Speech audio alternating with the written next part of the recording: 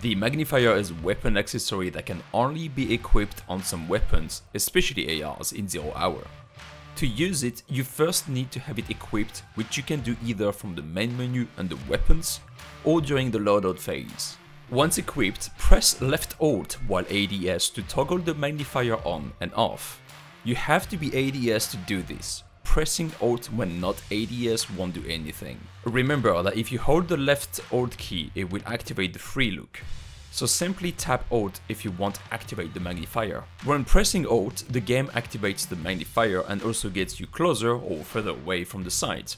If you were using a sight that did not have a magnifier, the game will simply get you closer and further away from the sight, which can be also very useful. For more zero hour tips and tricks, subscribe to the channel and check my other videos for more advanced tutorials.